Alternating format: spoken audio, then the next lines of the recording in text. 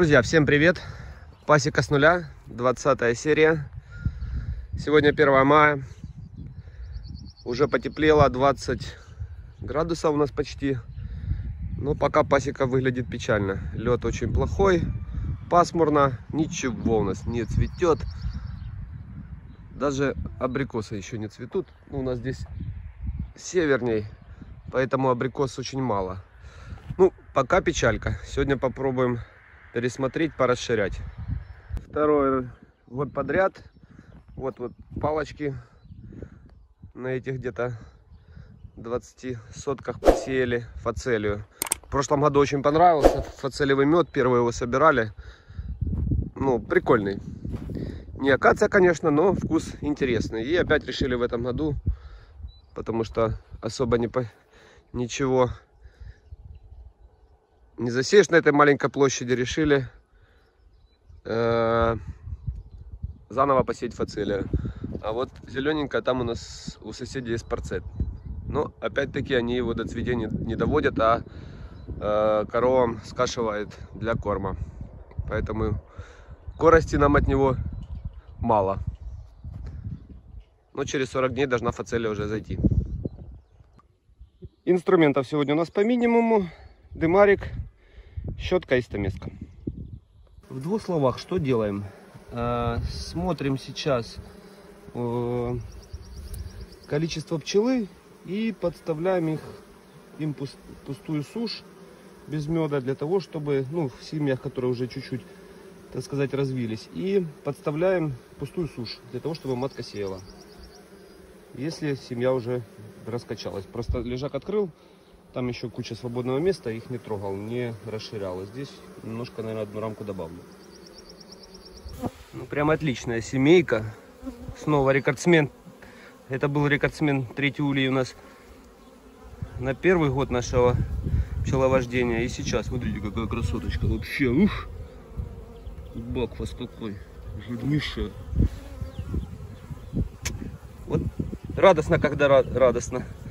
Когда пчелки развились. Э, друзья, ну что сказать. В целом, наверное, как и у всех, ну так, паршивенько. На 1 мая паршивенько. Не будем брать тут. Э, все скажем по-честному. В прошлом году было лучше. Да и позапрошлом было лучше. На 1 мая. Именно на 1 мая. Есть сильные, есть э, средние и слабые. Короче, наверное, как у всех, отставание 2-3 недели. Ну, посмотрим. Это пчелы нам до подсолнуха дотянуть. Остальные взятки у нас тут слабенькие. Думаю, все будет отлично. Листаем следующее число. Так, друзья, сейчас будем заниматься покраской улья ППУ. Вон, смотрите, классный, легенький, прочный. А ну, Марин, присядь на улей, покажи, какой он прочный. Вот эти желтенькие стояли у нас 5 месяцев где-то на, на улице. Что, не залезешь или что? Пять месяцев на улице стояли, так пожелтели, но это наоборот хорошо. Вот видите, пожалуйста, 52 килограмма. 52 килограмма и ничего с ним не происходит. А ну, меня поснимай. У меня сколько? 80. Ой, вот, пожалуйста. Отличный улей. Выглядит паршивенько сейчас, но это наоборот хорошо, потому что ППУ должно Э, как это, соприкасаться с окружающей средой, чтобы у него появились поры. И тогда он будет готовить, готов к покраске. Вот. Но сейчас доброволец будет красить улья. Так, друзья, прошел день. Улья наши покрашены, подсохли. И вот гадкий утенок превратились, превратились вот таких двух красавцев. Но теперь нужно поймать раи и заселить их туда. Друзья, 10 мая. Погоды нифига нет. Солнышко есть, ветрюганище ужасный. Пчел, все у нас тут цветет, а пчел, пчелы сидят в курьях. Ни одной пчелы на деревьях. Ну, работаем дальше. 15 мая, друзья. Ну, как говорится, наконец-то. Дождались. Наконец-то дождались. Хоть какая-то погодка более-менее наладилась. Сейчас быстренько порасширяю, потому что на следующих выходных едем на выставку в Киев. Э, 23, 20-23 мая будет. Сейчас быстренько порасширяю. И будем ждать мед. Так, кстати, наша фацелия уже проросла. Вот такие вот рядочки. И через 20 уже будет цвести и давать нам нектар. Ну что, погнали расширять. Так, друзья, буду расширять сушью. Вообще и вощинку можно поставить. Но у меня просто суши скопилось очень много с прошлогодней откачки меда. Вот, поэтому взял два рамконоса суши. Ну, надеюсь, мне хватит. Буду подставлять сушу. Ребят, ну вот, что такое расширение, это для начинающих. Ну вот смотрим, мы открываем улей, да, и смотрим. У нас одна заставная, вторая заставная, это 10-рамочный. А пчелы уже обсижены на раз, два, три, четыре, пять, шесть, семь, восемь. На восьми улочках, да? Ну, допустим, на восьми рамках, да?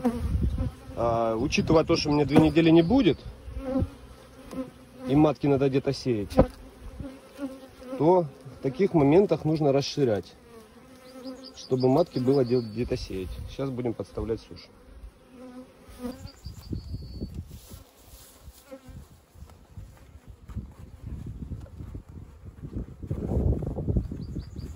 Приспособил телефон, чтобы было более наглядно.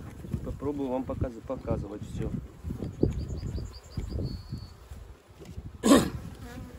Стаместочка очень удобно, смотрите. Раз, два, сорвал рамочки.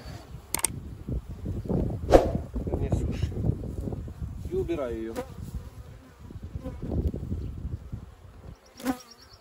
Так, бегло осматриваем. Помидовая ее край.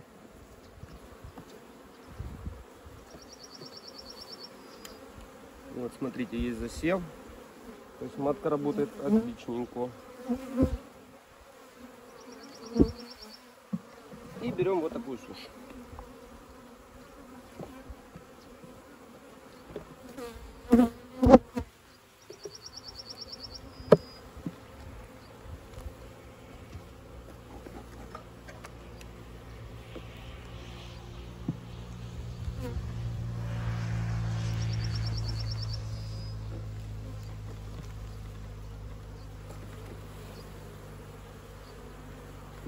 Здесь в этой семейке все отлично, не буду я полностью их тревожить. Просто еще одну заставную уберу.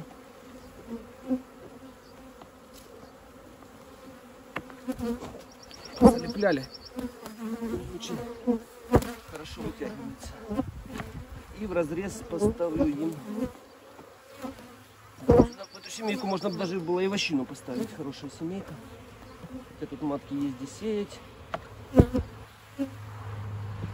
Но все равно, так как две недели не будет, чтобы не зароились, а занимались делом, ставим им сушь.